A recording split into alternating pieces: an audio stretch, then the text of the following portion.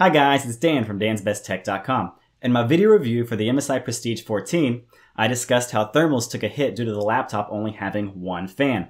But then I discussed how gaming performance could be improved by undervolting the GPU. Since some of you asked for more details, in this video, I'll talk about how I did this undervolting and the before and after effects of it during gaming and while working in the CAD application SOLIDWORKS. Stay tuned for more.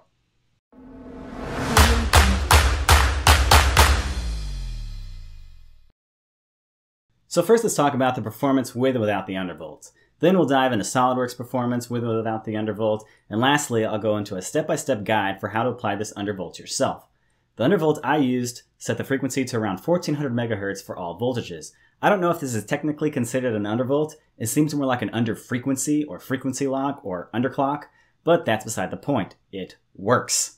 So let's go ahead and get started. I tested the following games with without the undervolt. Shadow of Mordor, Shadow of Tomb Raider, Civilization 6, CSGO, and Fortnite. And I let each game run with maxed out settings for 20 minutes while watching the GPU temperature. The first game I tested was Shadow of Mordor. Without the undervolt, it ran at an average FPS of 54 for a few minutes, but after 5 minutes of benchmarking, Shadow of Mordor dropped to an average FPS of 45. With the undervolt, it ran consistently at 52 FPS, this slight improvement is due to the removal of the minor thermal throttling occurring when the GPU temperature reaches 74 degrees after 5 minutes without the undervolt. Next, I tested Shadow of the Tomb Raider. With the undervolt and maxed out settings, it started at 26 FPS during the benchmark, but again, after a few minutes, it started to thermal throttle. In this game, the thermal throttling was even more severe and the FPS dropped to 9. I couldn't even make it through the benchmark once. With the undervolt though, it consistently benchmarked four times at 30 FPS. It didn't thermal throttle and it didn't show a drop in FPS.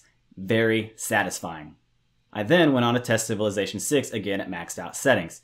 It ran great without undervolting between 40 and 50 FPS during the benchmark. It spits out an average frame time of 21 milliseconds, and as you can see, the temperature is getting up there, and it is thermal throttling, but the drop in FPS isn't significant. With the undervolt, it spits out the same FPS range and 21 millisecond frame time. The game just isn't taxing the laptop as hard as Shadow of Mordor and Shadow of the Tomb Raider. CSGO behaves similarly. It just isn't that taxing. It ran at 1080p with maxed out settings and never dropped below 60 FPS. And as you can see, the temperature is getting up there and it is thermal throttling, but the drop in FPS isn't significant. And with the undervolt, I can't tell a difference in the FPS. Fortnite, on the other hand, is demanding enough to show an improvement. Without the undervolt, it started at 1080p with maxed out settings between 30 and 60 FPS. But after a few minutes, there was again thermal throttling, which brought the FPS down to 12. With the undervolt, though, the FPS stayed in the upper 40s and 50s. For all you CAD users out there, SOLIDWORKS benchmarks the same with and without the undervolt. The temperature never climbs high enough, so I would say that SOLIDWORKS is usable right out of the box as long as you don't have assemblies with hundreds of parts. So in summary, the games that push the GPU like Shadow of Mordor, Shadow of the Tomb Raider, and Fortnite show a significant improvement in long-term gaming performance with the undervolt. Long-term meaning greater than 5 minutes. Less demanding or older titles and applications like Civilization 6, CSGO, and even light SOLIDWORKS assemblies don't have an issue running on this laptop right out of the box. They don't thermal throttle and work just fine. Even so, I don't see any drop in performance in these applications and games with the undervolt. Finally, let's quickly discuss how to undervolt the GPU. Bob of All Trades did a great video guide, so I want you to go and watch his video first. I left a link down in the description. My video is just the highlights, some of the changes I saw in the GUI, and the frequencies I used for this laptop. After plugging in your laptop, you need to download and install MSI Afterburner. In MSI Afterburner, hover your mouse over the hardware monitor and press Ctrl F. Then you drag each dot to approximately 1400 MHz. Press the X button, hit apply, and hit apply at startup. That's it. Word of warning though, every laptop GPU is different, and 1400 MHz might not be the perfect frequency for you. You might need to play with different frequencies to eliminate thermal throttling but also not decrease the performance.